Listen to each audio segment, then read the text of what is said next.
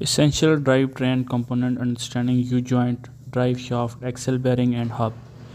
U joint universal joint. A U joint is a mechanical coupling used to transmit rotation motion between shafts that are the different angles to each other. It consists of a pair of hinges connecting by the cross shaped pivot allowing from flexibility in the transmission of torque. U joint are commonly found in drive shaft allowing them to flex as the vehicle suspension moves transmitting power from the transmission to the differential drive shaft.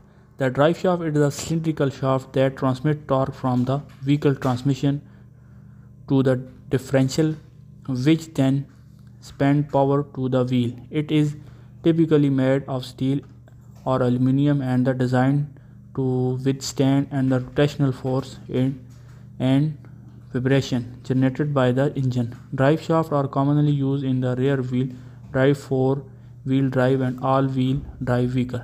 Axle.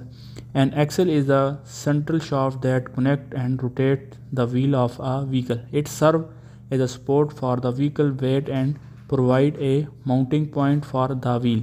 In many vehicles, the axle also houses the differential which distribute power from the drive shaft to the wheel while allowing the rotate and different speeds when turning. Bearing. A bearing is a mechanical component that reduces friction between moving part and support rotational and linear motion in the automotive application.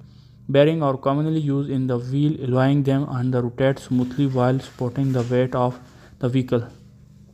The typically consist of outer race and inner race rolling elements such as ball or roller and cage to keep the rolling element separated and evenly spaced.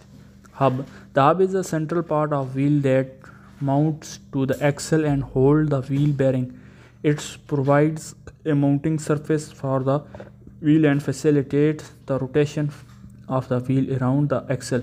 Hub are typically made of steel or aluminum and are designed to withstand the force and vibration encountered during vehicle operation. Some hubs also include provisionals from mounting the vehicle brake components such as a brake rotor or drum.